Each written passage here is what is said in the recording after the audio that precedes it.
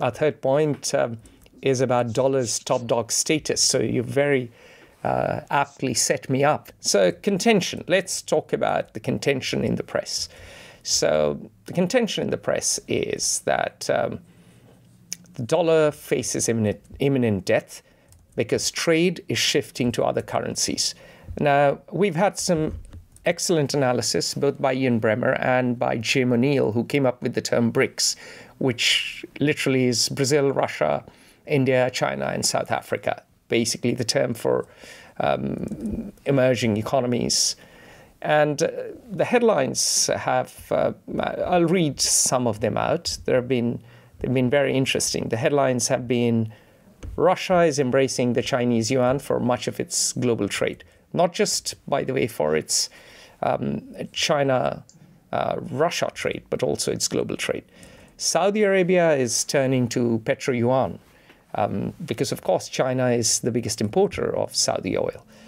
We know that um, now there's been a headline that Brazil and China have agreed to ditch the dollar for uh, bilateral trade.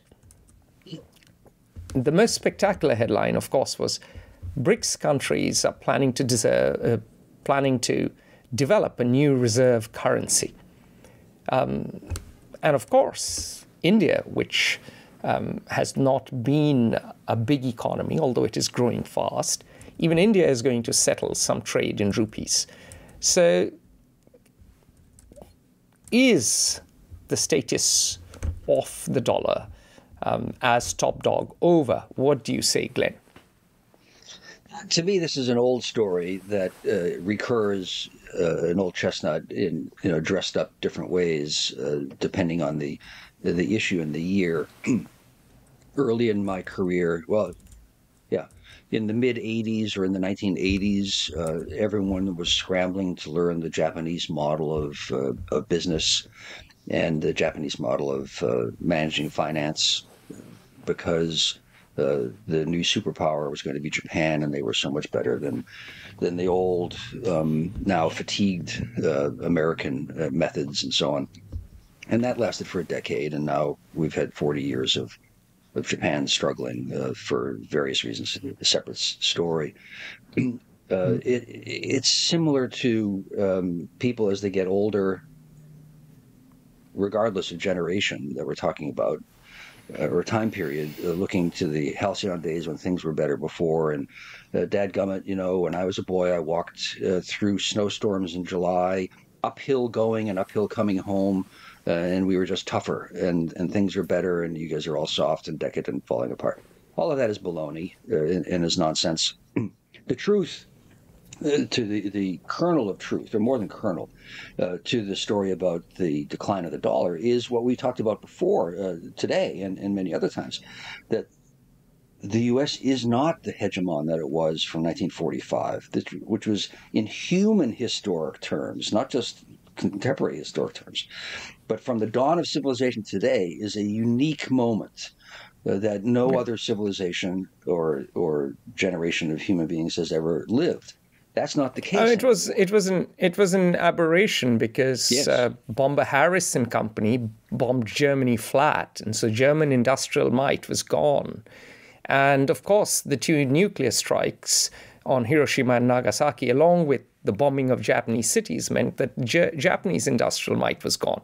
France had been occupied by Nazi Germany, so France, in any case, was out of the picture, couldn't s- step into a leadership role. Britain was broken by its Pyrrhic victory in World War II. And Britain had rationing at the end of World War II and was losing its empire. So the only. Yeah. And so the only uh, 800 pound gorilla left standing was America, which didn't suffer war right. on its soil. Yes, there was Pearl Harbor, but that was minor compared to what Europe and Asia went through. Yeah, mo- most countries did not return the GNP of most countries who were uh, the the main protagonists of World War II, which were the the most of the great power, all the great powers. Um, their GNPs did not return to 1913 levels until the mid 1950s. Uh, yes. So they lost 40 years of uh, development, during which time the U.S. had already been the economically the greatest power by 1895, um, even possibly earlier, 1890 maybe. Um, and so for a hundred, for 75 years, the U.S. was had no had no peer running in the in the track because they had all been knocked down. But okay, so it's it's to me a, a um, almost a reflexive reaction to to look for the decline of whatever is the greater power and to find that things were better before and they aren't as good anymore. Uh, I I don't find it. Uh, not only do I find it not convincing, I, I find it um, not rigorous thinking.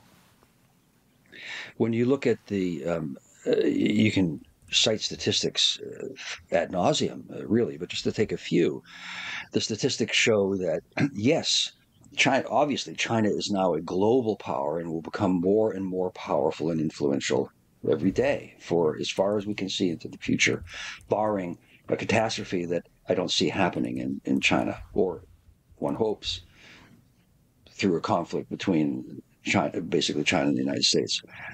but and global trade, as we just said, is greater now than it has been since uh, for several generations and continues to be so that India and Rwanda and every other country have opportunities to play off the each power as I said before. Those those are facts. But the deeper facts about the dollar remaining as the central currency which really speaks about the um, strength and dynamism of the American economy um, are unchanged. Uh, the uh, global share of gross national product of the United States in 1990 was 25%. In 2023, it's 25%.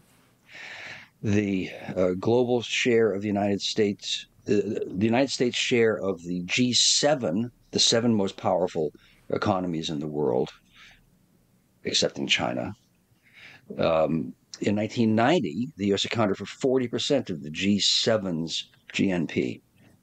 In 2023, the United States accounts has accounted for 58% of the GNP.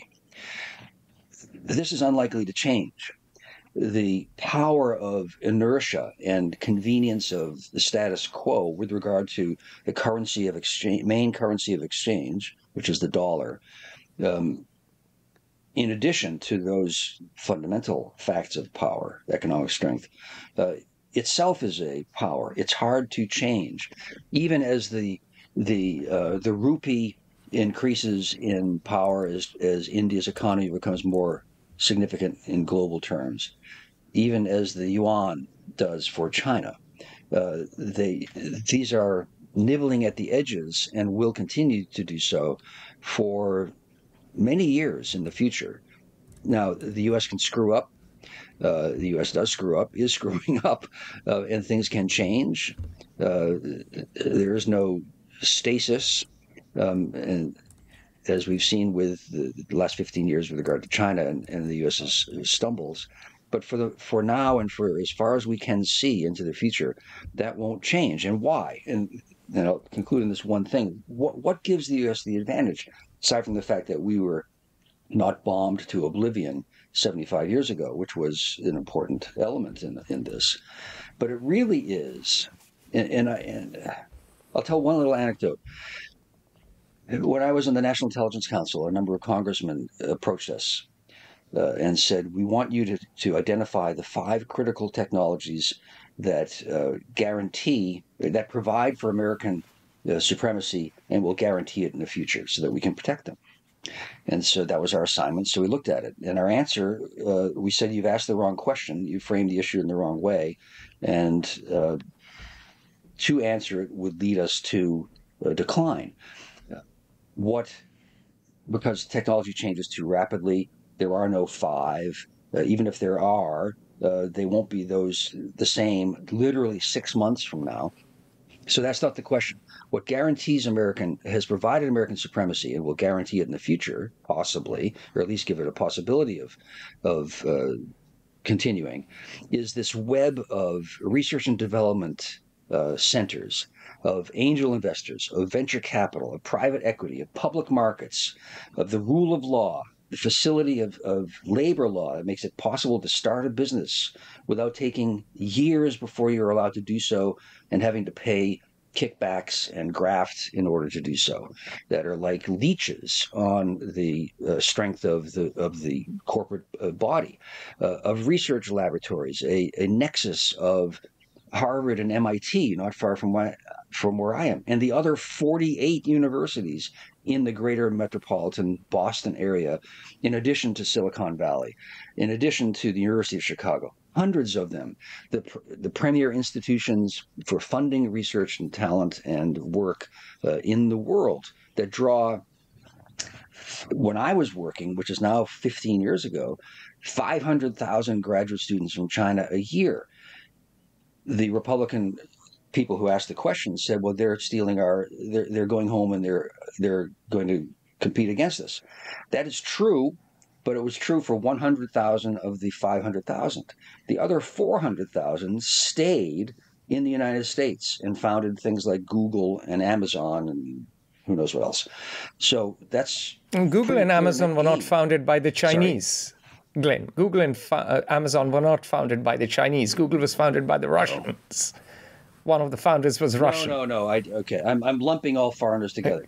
I'm sorry, that's outrageously, outrageously. Yeah. Um, but but the point of benef- the United States benefiting from the brilliance of foreign yeah. uh, seekers that are coming to the United States is remains true.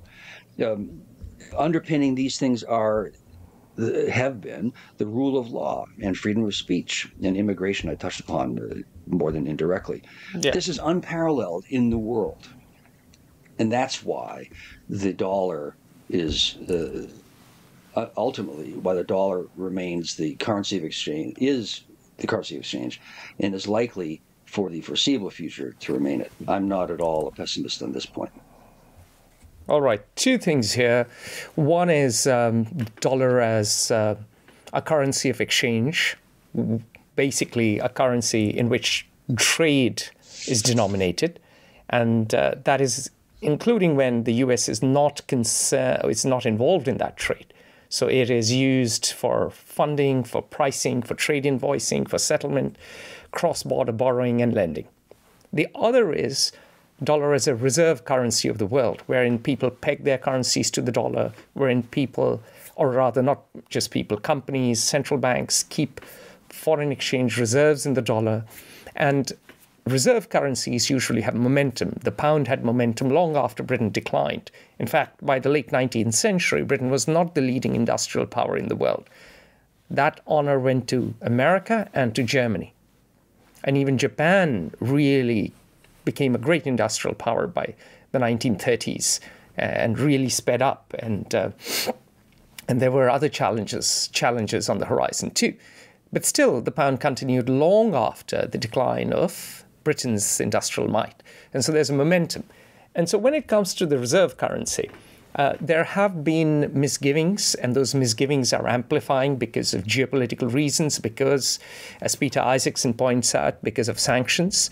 Um, the Chinese and the Japanese are buying less German debt. Um, sorry, less American debt. Uh, we have a German economist called Alexander Gloy who has uh, done a whole um, uh, series on, on this point, or rather, one big article, but he's touched upon it in other um, other um, articles. Um, having said that, uh, the big uh, challenge to the challenge to the dollar is that uh, the challenges uh, are um, amorphous and they are pulling in different directions. So let's look at the BRICS. Brazil, for instance, is in a dire economic and political crisis. It's a deeply divided country. It's fundamentally a seller of commodities, and no one wants to hold Brazilian currency including Brazilians themselves. Uh, Russia is at the moment going through a rather grim war. And yes, its economy only declined by 2%. Maybe they're lying about their statistics. Uh, but Russia is unlikely to be uh, the power that anyone is looking forward to trade. Their, their demography has been declining. Uh, they're fundamentally a big uh, gas station. You know, oil and gas is what they what they sell. Uh, um, then we get to India, Well, India is certainly a growing economy, but India has its major problems. India faces uh, the risk of remaining in the middle income trap. Um, India also has seen the rupee um, over the last 10 years go from 53.6 uh, uh, or so to the dollar to 83. Uh, 0.01 or more than 83 to the dollar. So the rupee has has fallen in relation to the dollar, and uh, holding rupee means that you're incurring a massive exchange rate risk. Um, China, of course, is is the dominant player, but China has too many uh, exchange rate controls, and China also has a massive uh, bad debts crisis, and its currency is not entirely convertible. So yes, you could trade in that currency, but holding it is too risky. South Africa, well, South Africa All is going through a major crisis. That concern is is the name Jack Ma. Exactly. Exactly, exactly. And South Africa um, basically is again going through a Brazil like crisis. So there is at the moment no alternative. And the talk of BRICS to create a new currency uh, is still talk because um, of a very simple reason. They're all pulling in different directions. Their own domestic institutions are not mature enough. And as of yet, there is uh, no challenger. Having said that, America has has spectacularly undermined its institutions. America is playing political football with its debt ceiling, and uh, America, uh, at some point, is not going to be able to carry on the way it is carrying on. So uh, we could come to a situation wherein uh, people might flee to another store of value, whether that's gold, whether that's cryptocurrencies, uh, whether, and crypto, in my view, won't work. But what may happen is we may, leave, we may live in a more fragmented world Yes. uh, in which the dollar may no longer be king. And we have to remember what, what a friend of ours always says things last until they don't. And things are far more fragile than they seem. Uh, uh, of course, I come from the, from the old world, so I say so. So, yes, the dollar is just, king uh, and will remain king in our. Yeah. Oops. Sorry, I was saying the dollar is king and will remain king in the foreseeable foresight, but there's, n it's not guaranteed its top uh, dog position forever. Yeah, I, I my, my, the last thing I'll say is that you know Americans have always liked to compare the the American Republic to uh, ancient Rome, and Western history, of course, the reference point for everything really is ancient Rome and Greece, and Rome. And the great question is what. Why did Rome fall? And uh, Rome didn't fall because of the Huns. Uh, really, it, it, fell because Rome became no longer what Rome was, and, and the uh, enemy was from within, and it undermined itself over 200 years. Um, but uh, similarly, uh, debt lunacy and uh, trying to to overthrow democracy for a strong man and various other steps can do America in. All right. On that note, uh, we've come to the end of our episode for April. We will see you in May. And until then, it's bye from me and uh, all the best with everything. Join the conversation at Fair Observer and subscribe to our YouTube channel.